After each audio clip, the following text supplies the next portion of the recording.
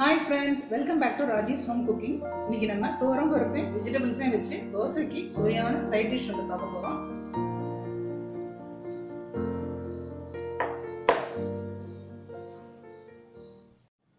வாங்க இந்த ஹெல்த்தியான சைட் டிஷ் பண்ணுறதுக்கு ஸ்டார்ட் பண்ணிடலாம்.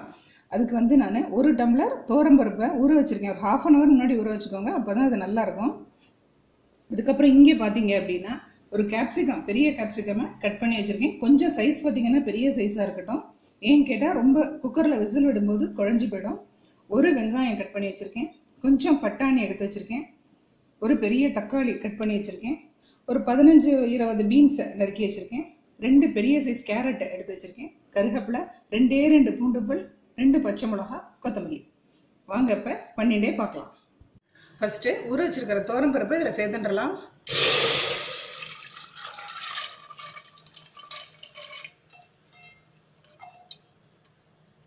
நம்ம கட் பண்ணி வச்ச வெஜிடபிள்ஸ் அத்தனை இதில் சேர்த்துன்றலாம்.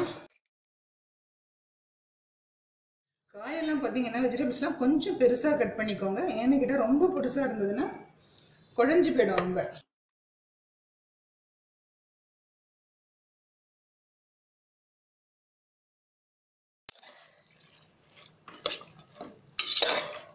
இதுக்கு பார்த்தீங்கன்னா புளி எதுவும் சேர்க்க வேண்டாம். இப்போ தேவையான அளவு உப்பு சேர்த்துக்கலாம். ஒரு அரை ஸ்பூன் மஞ்சள் பொடி கொஞ்சம் பெருங்காயம்.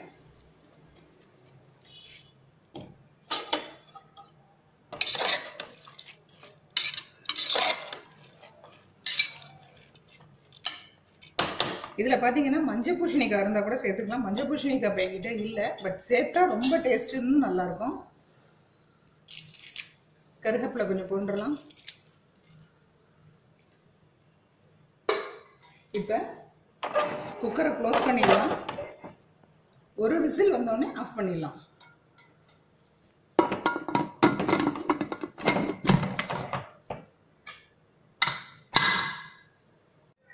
இப்போ ஒரு விசில் விட்டு நான் குக்கர் ஆஃப் பண்ணி வச்சுருக்கேன். இப்போ ஓப்பன் பண்ணி பார்த்துடலாம்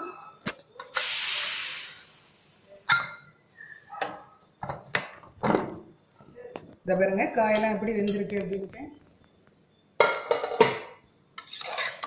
நம்ம பருப்பில் வச்சுருந்த தண்ணி மட்டும்தான். வேற தண்ணி எதுவும் நம்ம ஊற்றலை எப்படி வெந்திருக்கு பாருங்க நல்லா.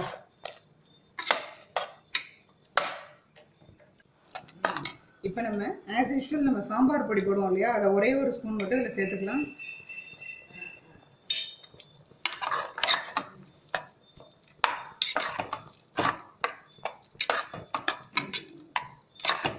இது ஒரு அஞ்சு நிமிஷம் நல்லா கொதிக்கட்டும். அதுக்குள்ளே நம்ம கடுகு தடிச்சுட்டுலாம்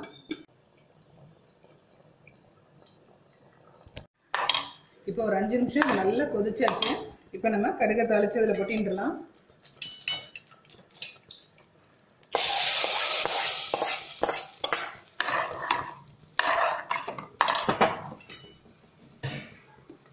கொஞ்சம் கொத்தமல்லி சேர்த்துன்றலாம்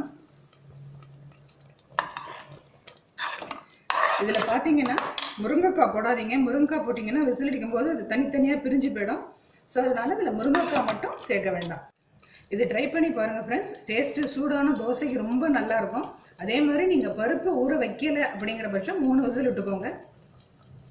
பருப்பை ஊற வச்சு போடுறீங்க அப்படிங்கிற பட்சம் ஒரு விசில் போகிறோம் ஏன் அப்படின்னு கேட்டிங்கன்னா ஊற வச்சு பண்ணாதான் காய்கறியும் பருப்பும் ஈக்குவலாக வேகும். நல்லாயிருக்கும்